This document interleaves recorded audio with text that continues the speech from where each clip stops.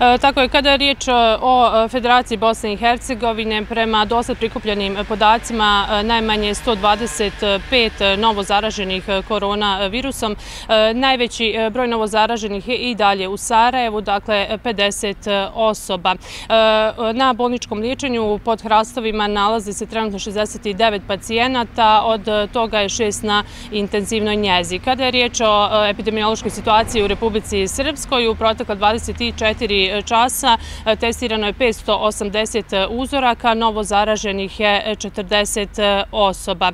Dakle, imamo blagi pad novo zaraženih, no veliki broj smrtnih slučajeva. Dakle, u protekla 24 e, sata preminulo je 10 osoba, u Republici Srpskoj 6, e, od kojih su četiri starije životne dobi, dvije srednje e, osobe srednje životne dobi. Kada je riječ o federaciji, sad imamo podatke da su četiri osobe preminule eh, i to eh, dvije osobe u Zeničkoj eh, COVID bolnici, obje starije životne dobi.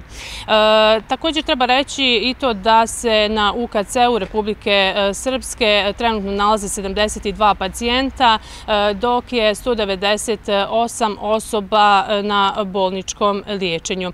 Podsjetit ću i na to da se u Republici Srpskoj, a prema protokolu Svjetske zdravstvene organizacije, E, od danas više ne vrše retestiranja. To znači da e, osobe koje su bile pozitivne 14 dana provele u izolaciju, ukoliko nemaju e, više simptoma, smatraju se izlječenim, dakle to se neće potvrđivati novim retestiranjem. Za one koji dalje imaju simptome, dakle, bit će produžena izolacija. Još jedna informacija, dakle, ono što je naglašeno protekle sedmice, da u Republici Srpskoj od sada će biti moguća nova usluga komercijalnog testiranja i e, to u turističke svrhe za građane Republike Srpske e, koji odlaze u inostranstvo. Toliko u ovom javljanju.